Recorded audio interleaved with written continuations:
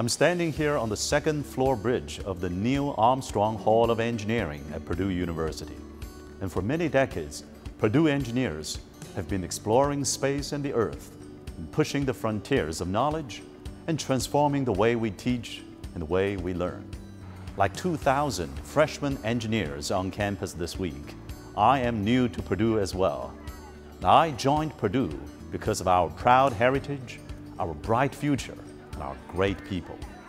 I'm Mung, the new Dean of Purdue's College of Engineering, and I hope to see you here too.